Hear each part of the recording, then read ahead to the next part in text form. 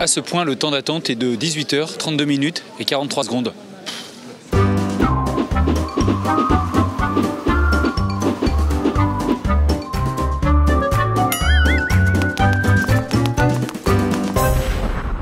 Alors pour être le premier un samedi sur le festival d'Angoulême, faut se lever tôt normalement.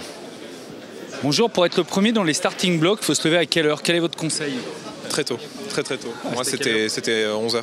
C'était 23h, enfin j'étais devant l'entrée à 23h. Donc en fait quand vous dites se lever c'est un petit peu ambigu comme euh, formulation. 2h30 du matin Mais qu'est-ce que vous faites depuis 2h30 Bon, on discute avec les copains. C'est quoi l'objectif là quand les portes s'ouvrent? Courir. Vous êtes tout seul et ils sont 10 000, hein, faites attention. hein.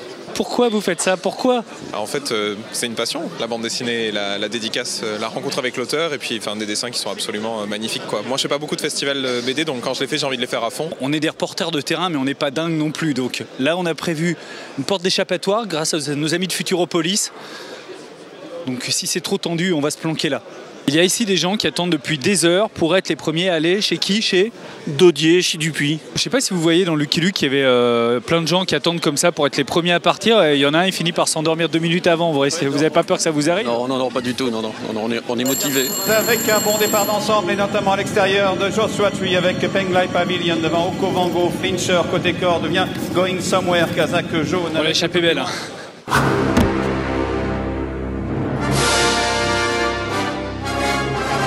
Et maintenant, on va assister à la rencontre la plus improbable et à la meilleure idée de casting de l'année. Viens voir Spirou, viens avec moi.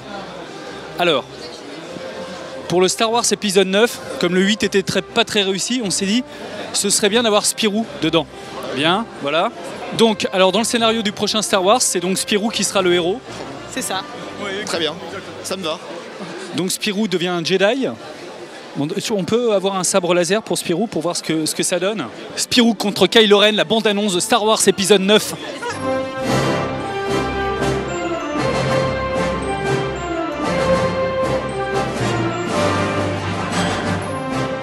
Oh dis donc, euh, Kylo, c'est pas cool, tu viens de nous tuer notre Spirou, comment on fait maintenant Bah ça y est, hein, Kenny Ruiz, il a, il a quasiment fini sa fresque de Télémac, il est en train de faire le titre.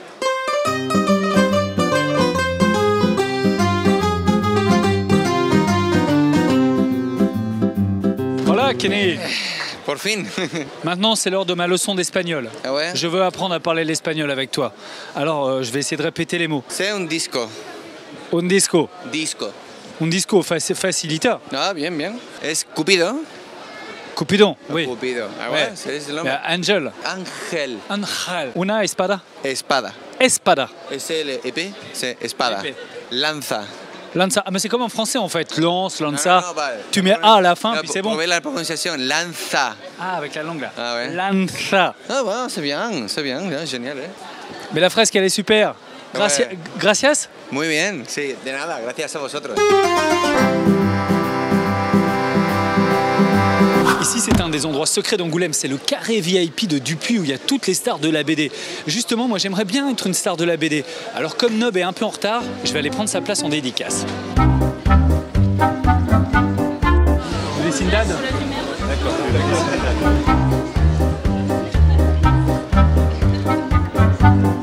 Bon, voilà, c'est pas terrible, hein, je suis pas, pas très rodé. Comment tu t'appelles Paul, t'es t'es gentil, mais Quoi tu fais quoi bah, je fais, Comme tu étais en retard, je me suis dit que j'allais faire la, la dédicace de Dad à ta place. Non, mais c'est- c'est gentil, hein, c'était une bonne Euh, intention. Bon, bah, gardez-le quand même. Vous êtes douté que c'était un faux, un faux nob, Eh ben pas du tout. mais quand vous avez vu le dessin, vous n'avez pas eu un doute Non Je m'étais dit que vous étiez pressé. Vous voulez que je vous fasse les dédicaces Ça va plus vite, je le fais à côté de Nob, comme ça je, fais, je les fais toutes.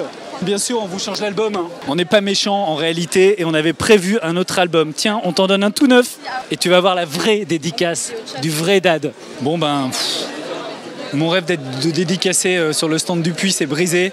Ou alors j'en fais peut-être un autre.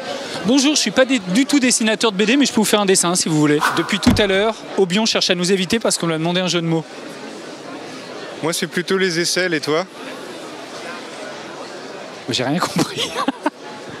Moi, c'est plutôt les aisselles, et toi Tu transpires où On fait un petit micro-trottoir pour savoir si euh, vous connaissez bien le personnage de Spirou. Est-ce que tu sais ce que c'est son animal de compagnie Euh, c'est pas un chien Si, c'est ça, un petit chien blanc. Oui. Son petit chien, tu, tu- tu vois bien son petit chien, comment il est, le petit chien blanc Oui. Non, c'est pas un petit chien blanc, c'est un écureuil. C'est pour savoir si vous connaissez le personnage de Spirou, si vous le connaissez bien. Euh, oui, un petit peu, oui, avec euh, Tint- euh, non, c'est pas Tintin. C'est comment, euh, comment c'est son animal de compagnie, le, le petit chien blanc là déjà Euh, le petit chien blanc, c'est. Non, pas spécialement, je lis pas trop les BD. Qu'est-ce que tu fais là alors Il y a son compagnon là, vous voyez le gros barbu qui, qui fait des jurons Euh, Là, vous vous confondez avec Tintin, je pense. Tintin, je connais par cœur, donc c'est euh, ma BD préférée. Ah oui, c'est ça, les aventures de Spirou et Milou. Oui, c'est ça, tout à fait.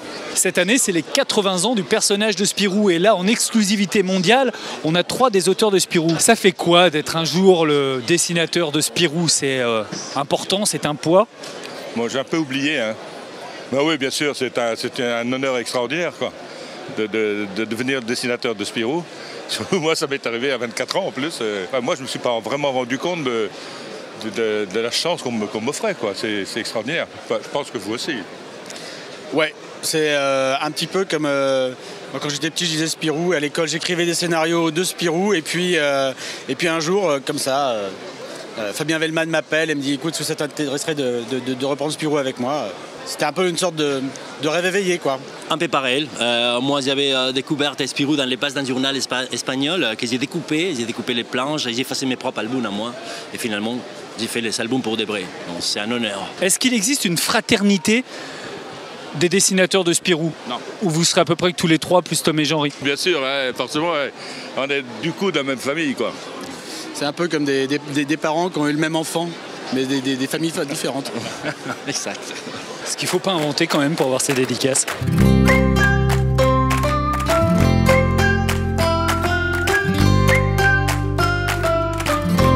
Voilà le JT de Spirou à Angoulême, c'est tout pour cette année. On se retrouve, j'espère, l'année prochaine. Et ben en attendant, on va reprendre notre train-train. Et Milou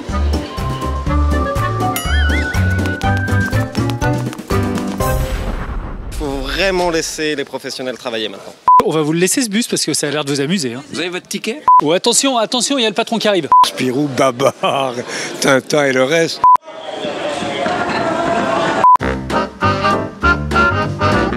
C'est pas super, hein? Non. Il y a beaucoup d'effets spéciaux bien réalisés. Euh, habla espagnol. Pour faire un battable, faut déjà savoir dessiner un œuf. Normalement, c'est pas trop compliqué. Eh, dis donc, je pourrais pas dire, mais t'es en retard. hein. Il a déjà fini les chaussures. hein. C'est super. Et le journal de Spirou, c'est fini pour aujourd'hui. Le JT Spirou, c'est fini, fini pour aujourd'hui.